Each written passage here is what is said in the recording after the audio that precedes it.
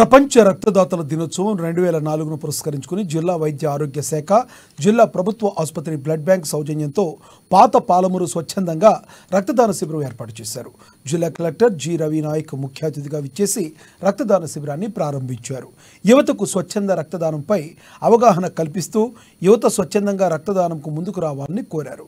అనంతరం స్వచ్ఛందంగా రక్తదానం చేసిన రక్తదాతలను కలెక్టర్ అభినందించారు.